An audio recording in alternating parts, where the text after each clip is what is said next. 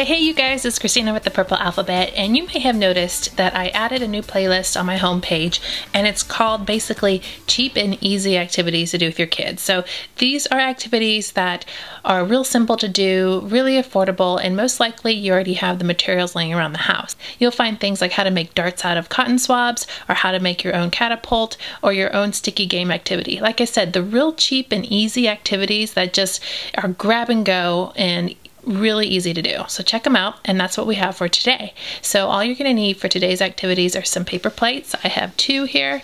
Uh, they don't have to be colored like this. In fact, they can be the plain kind, and you can decorate them yourselves. That'd probably be even better, but this is what I had left over from a party recently.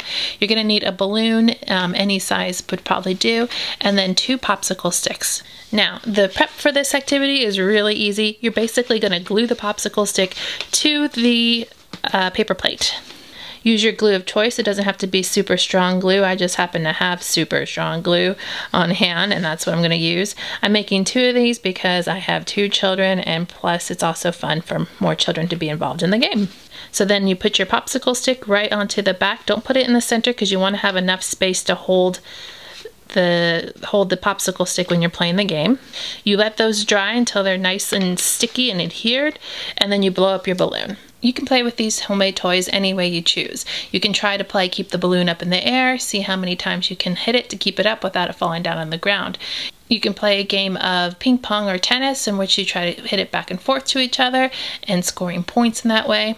You could also see who can hit it the farthest by setting up a starting point, maybe a line with some painter's tape on the floor, and everybody starts at the same line and you just hit it, and whoever gets it the farthest wins that round.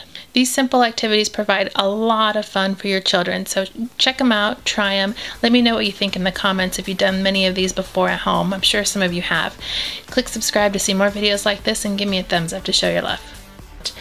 And it was just a really fun thing to do. I'm glad we did it and I highly suggest it for some really